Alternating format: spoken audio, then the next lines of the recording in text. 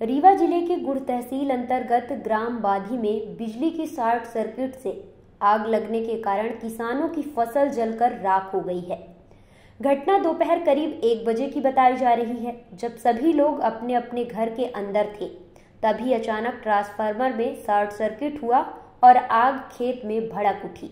दोपहर के समय लू चलने की वजह से आग और तेज़ी से फैल गई और आग फैलते ही पूरे गाँव में हड़कंप मच गया। किसानों ने आगजनी की जानकारी तत्काल गुड़ फायर ब्रिगेड को दी, लेकिन फायर ब्रिगेड समय पर नहीं पहुँचा। तब तक खेत में खड़ी फ़सल पूरी तरह से समाप्त हो गई। हालाँकि ग्रामीणों की मदद से इस भीषण आग पर काबू पा लिया गया, लेकिन फ़सल नहीं बचाई जा सकी। बताया जा रहा कि अगर आग में काबू ना पाया जाता तो यह आग इतनी भीषण थी कि पूरे गाँव को चपेट में ले सकती थी।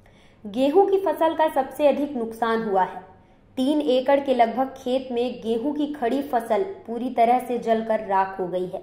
इस घटना में सबसे अधिक जिन किसानों का नुकसान हुआ है, उनमें जितेंद्र द्विवेदी भानु प्रसाद शर्मा और श्याम सखी द्विवेदी हैं। आइए सुनते हैं इन किसानों का क्या कुछ कहना है। ये अभी एक घंटे पहले मतलब मुझे पता चला कि मतलब आग लगी हुई है और लगभग दो खेत जल चुके थे तो हम लोग यहाँ पहुँचे। गाँव के लोग इकट्ठा होकर बुता रहे थे इसको मतलब मोटर के द्वारा और बाल्टियों के द्वारा हैंडपम्प से पानी ले लेके।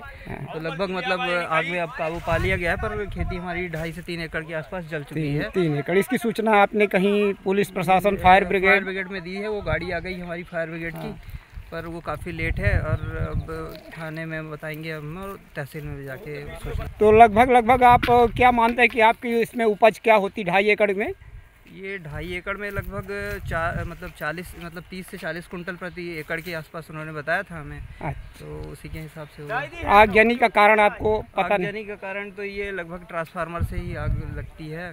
इसको शिफ्ट कराने के लिए भी बोला है पर अभी तक शिफ्ट नहीं हुआ हाँ। हमको एक बालक नहा के भगवान की पूजा कर बालक दौड़े जो दौड़ के गया, बताया घर आग लगी है। दौड़ के आए, यहाँ देखे तो वहाँ जल रही तो कोई साधन था नहीं।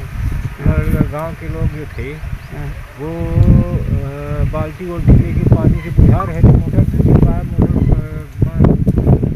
ये बोर्ड में पानी कम था तो पर्याप्त तो हो नहीं पाया। किसी तरह से बुझाया, फायर ब्रिगेड को फ़ोन किया फायर ब्रिगेड आई। तो लगभग आपका कितने एकड़ में फ़सल थी? पच्चीस छब्बीस डिसमिल के आसपास जला है।